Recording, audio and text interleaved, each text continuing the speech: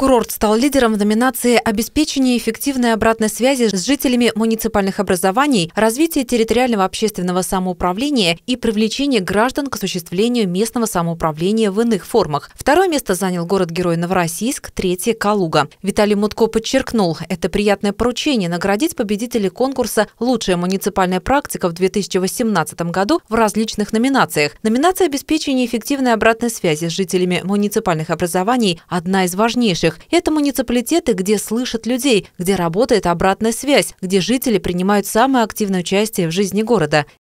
Это победа всего нашего города-курорта, наших активистов-общественников, всех жителей, отметил в ответном слове Юрий Поляков. Спасибо всем, кто активно участвует в жизни города, выступает с инициативами, добросовестно трудится на благо нашего курорта.